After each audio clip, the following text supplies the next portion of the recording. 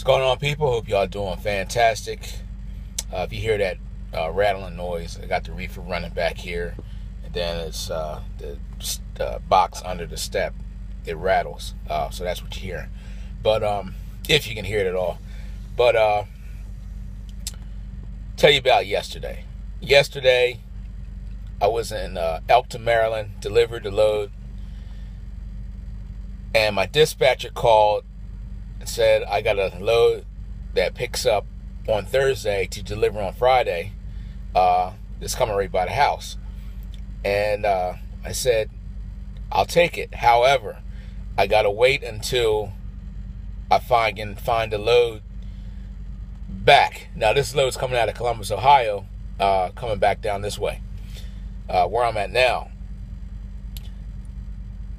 And I said I'll, I'll take it, but I got to find a load coming back. So uh, up until this point, I've been on the phone talking with uh, on the load board, talking with different brokers, and that day there's nothing but trash. And when I when I say trash, there were loads available. Don't get me wrong, there were loads available, but they were jacked up loads. They picked up at weird hours, delivered at weird hours, or they were deliver like a day extra they added another day on there, or you know, multiple stop loads. They added another day on there, and it, stuff was all jacked up on them. So I turned all load. Took nah, nah, I'm not interested. Uh, thanks anyway. And then I had a load that I saw. I called on it. Uh, then I just told him. I said I'm not coming. You know, I can't find anything right now. Um, so you can go ahead and give that load to somebody else. and I'll just run some local stuff around, you know, around the house. So I found a load the following day. I picked up. I'm actually here now, getting loaded uh, down here in Camden, New Jersey. Uh, don't come here. uh, it's a lot of no, it's a lot of tight streets and low bridges. Actually, the one bridge I had to, it was close. I dumped the airbags out of the, the tractor, uh, and you know I stopped put the four ways on, got out the truck, you know, stuck my head up, you know, looking to see, you know, the clearance. It, it was it was close, but um, uh, just you know, if you come here, just you know, be prepared. Tight streets and low bridges, but back to the story. So I I called on the broker about this load that I'm on right now, and this broker. It's only a 30 mile run, right?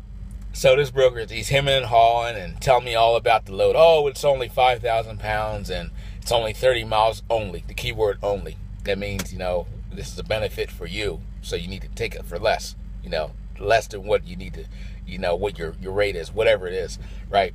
So he's telling me all the, you know, trying to puff the load up and everything. I was like, how much does the load pay? he's like, oh, uh, four hundred dollars. I was like, nope, can't do it. I can do it for this. And he's like, ah, nah, I can't, I can't do it. I can't do it. Okay, well, no problem. We'll see you.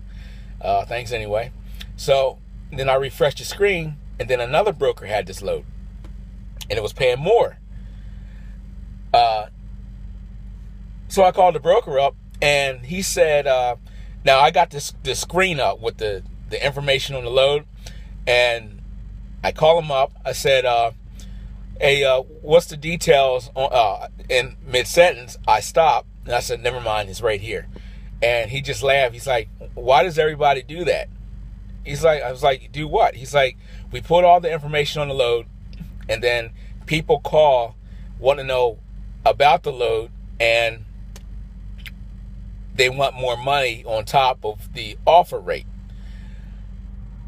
I said, well, I just got off the phone with another guy that has the same load, and he must have been double trying to double broker it from you and trying to sell it to me. I said, uh, so I don't know what's going on. so he just, you know, he kind of calmed down.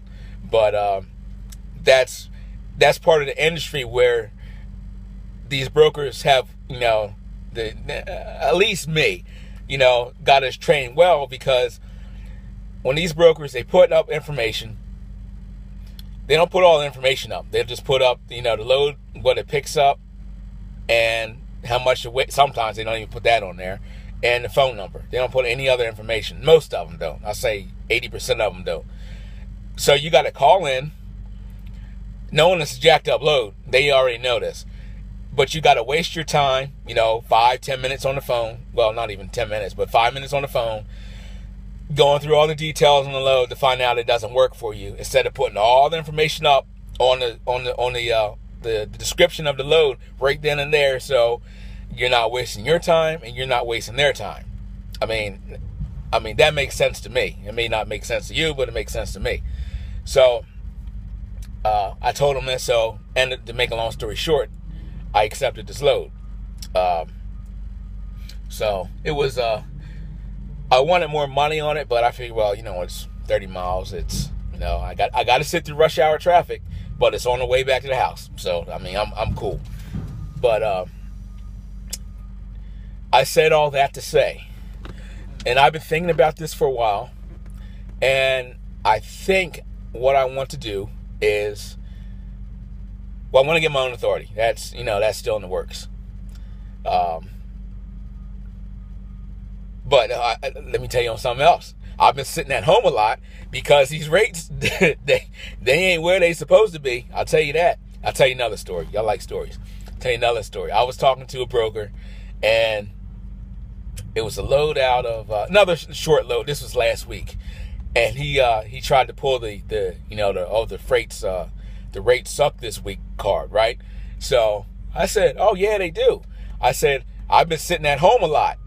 In other words, you can offer me that low rate, but I ain't gonna take it. so, anyway, so what I've been thinking about is maybe run a truck three three days a week, maybe four, Sunday through Sunday, Monday, Monday, Tuesday, Tuesday to Wednesday. Yeah, three days, three three or four days a week. Sunday, Monday, Tuesday, Wednesday. No, four days a week, three to four days a week, right? And then maybe I can uh, get signed on somewhere as a freight broker agent. That way, excuse me, because I can sit here, we can all sit here, I, I can sit here and say what's wrong and how to do all this stuff from this side, but I don't know how it works from the other side.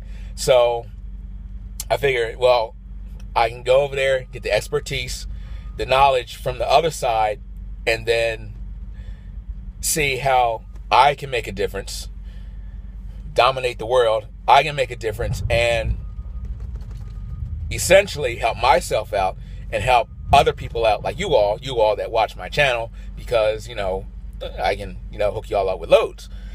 Maybe. I mean, I don't know. Uh, or maybe I can, you know, open up a freight brokerage and so on and so forth. So that's still up in the air, but it's just something I'm thinking about because it really bugs me when people just everybody does the same thing. So why not get the the knowledge on the other side and apply the things that how I think it should be should be, and we go from there. Um, it's just a, from a business standpoint, you know what I'm saying? Um, so that's all for this video, kind of like a little update thing, and you, y'all like to hear updates and stuff like that. So that's an update from me. Um, so we will see you on the next one.